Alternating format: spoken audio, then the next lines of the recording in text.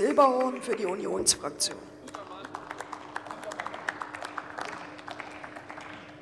Frau Präsidentin, liebe Kolleginnen und Kollegen! Urheberrechtsverletzungen haben im Internet massiv zugenommen.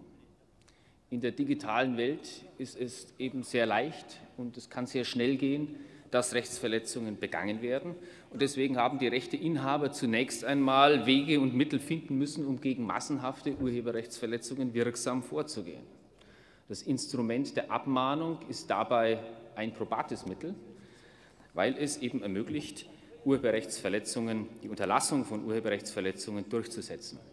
Erst in den letzten Jahren ist diese zu Recht kritisierte Abmahnindustrie entstanden, ein Phänomen, das Massenabmahnungen zu einem eigenen Geschäftsmodell werden, das gar nicht so sehr mit dem Schutz des Wettbewerbs oder der Urheber zu tun hat, sondern ganz unabhängig davon äh, zur Gewinnerzielung dient. Selbst bei geringsten Rechtsverletzungen entstehen hohe Kosten und sogar mit missbräuchlichen Abmahnungen lässt sich Kasse machen.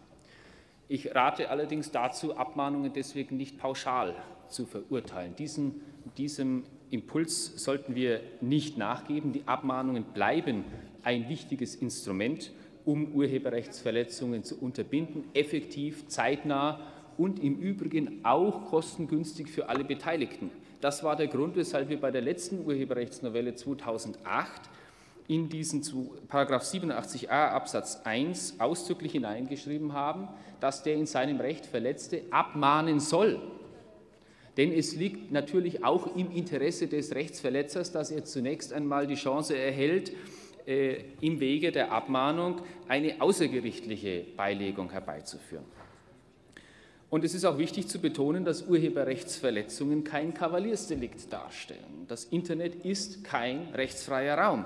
Wer also Filmdateien oder Musikdateien in Tauschbörsen illegal herunterlädt und mit anderen teilt, muss sich darüber im Klaren sein, dass er Unrecht begeht. Der Urheber ist ja darauf angewiesen, dass sein Werk auch im Internet Schutz erfährt, zumal in der digitalen Welt äh, sein Werk eben binnen Sekunden illegal vervielfältigt werden kann.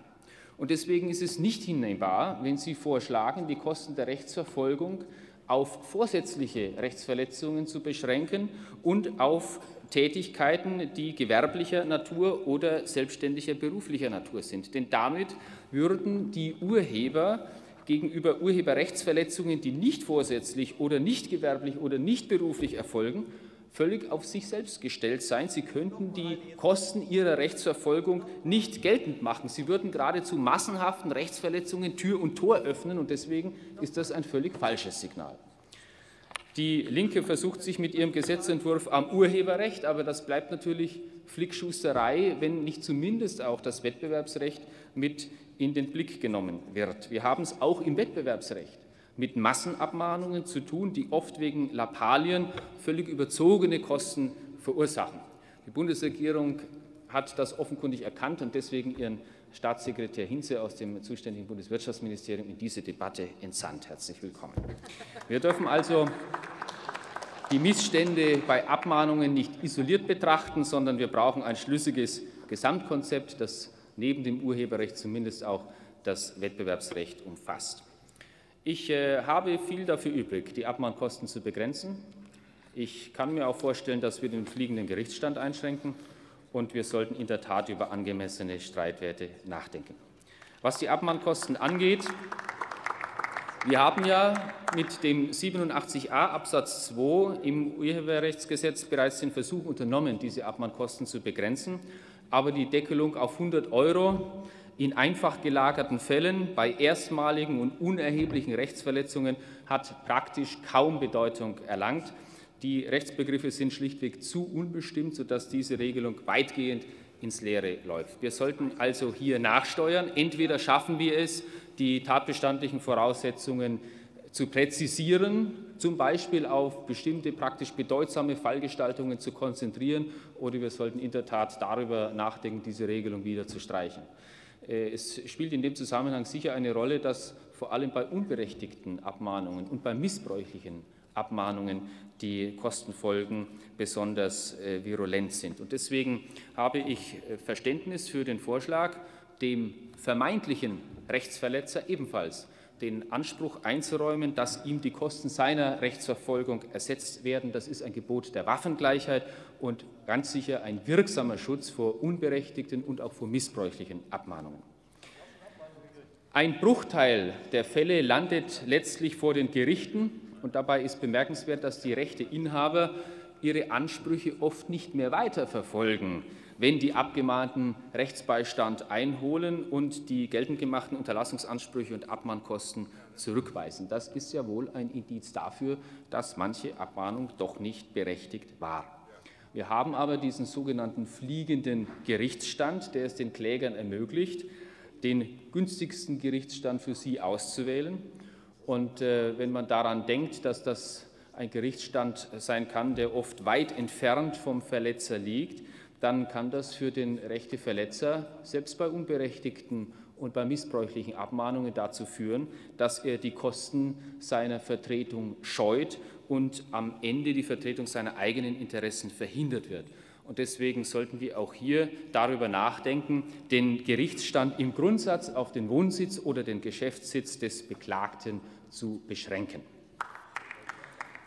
Die hohen Kosten von Abmahnungen und Unterlassungsklagen liegen meist in Gegenstands- und Streitwerten begründet, die als überhöht empfunden werden und es ja wohl oft auch sind. Und dabei spielt eine Rolle, dass die Streitwerte selbst in Bagatellfällen sich auf über 5000 Euro eingependelt haben, weil damit die Zuständigkeit der Landgerichte begründet werden kann.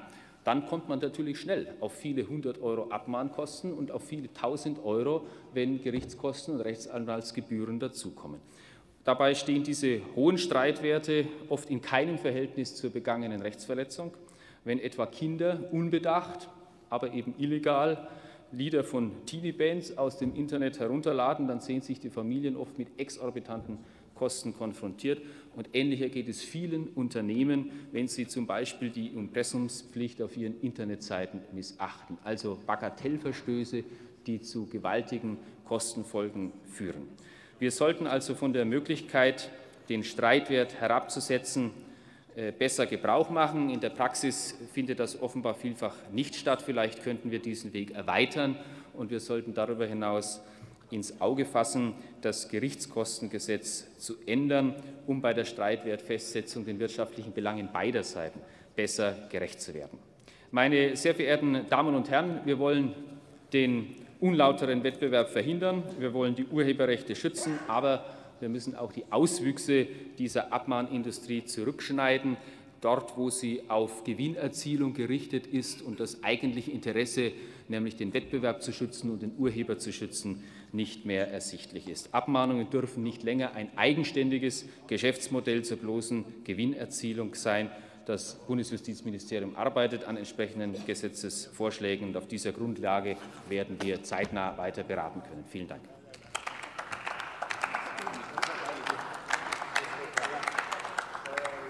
Das Wort hat der Kollege Dr.